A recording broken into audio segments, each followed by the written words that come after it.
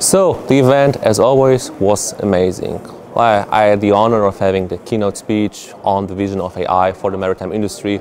I got a lot of feedback on that. I think AI is important for us, more important than for other industries, because we are a historically grown industry. We need that progress technology.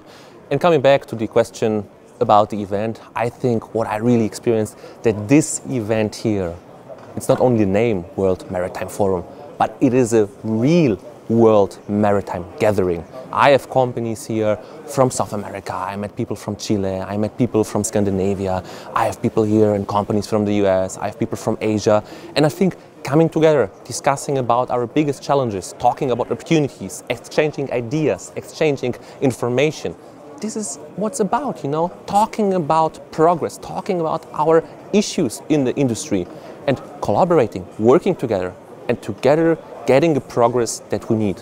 So always appreciate being here and I hope that also in the future we as the maritime industry can come together in such occasions, such events and see the future of maritime together here at IGGS events.